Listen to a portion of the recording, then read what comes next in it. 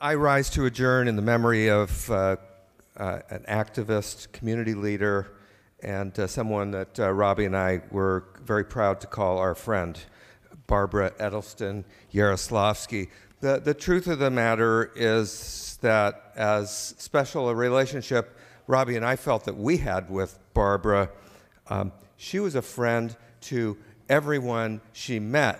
And nearly everyone who knew her felt that they had that same very special bond with her. This was demonstrated by the outpouring of love and sentiment from many hundreds of people who attended her memorial and burial just a couple of weeks ago. Barbara was able to connect with people in a personal way to share her insights, her intelligence, her kind heart, and her passion for justice and humanity. She was a lifelong Angeleno who divided, devoted her life to serving her city, her community, and really um, just people, everyone who needed help. Barbara was there for her, for them. Over the course of her life, Barbara was an active volunteer and member of many, many nonprofit agencies, statewide boards, uh, including the California Medical Board, where she was the first non physician to serve as its president. Uh, she was also a member of, had been a member of the California Board of Registered Nursing and the Los Angeles Commission on Communities and Family Services. Barbara was especially active and esteemed in Los Angeles' Jewish community. She served on several boards at the Jewish Federation of Greater Los Angeles, including the Board of Jewish Education and the Jewish Public Affairs Committee. She passed away on December 26, 2018, uh, after battling a rare West Nile virus infection. As many of you knew, uh, she was the wife of former Los Angeles County Supervisor and City Council member Zev Yaroslavsky.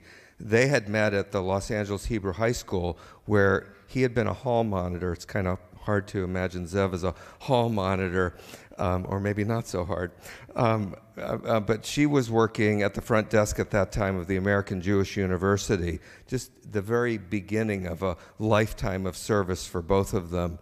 Um, and I think that was one of the, the bonds that they shared uh, uh, before and after they were married in 1971.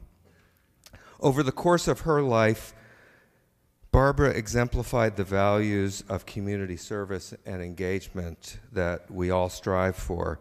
And through her service, she improved the lives of countless people, not only those in Los Angeles, but across the state and beyond.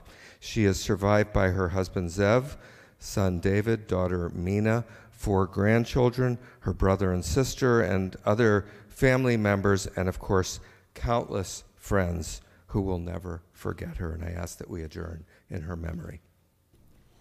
Thank you, Mr. Bloom. Assembly Member Gabriel, you are recognized.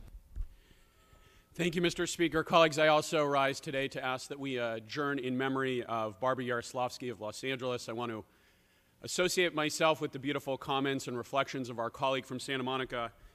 And as was mentioned by him and by so many others at her very moving uh, memorial service, Barbara Yaroslavsky's life was built around service to others government service, community service, philanthropic work, and the incredible love and devotion and energy that she devoted to her family, to her friends, and really to the most vulnerable members of our community.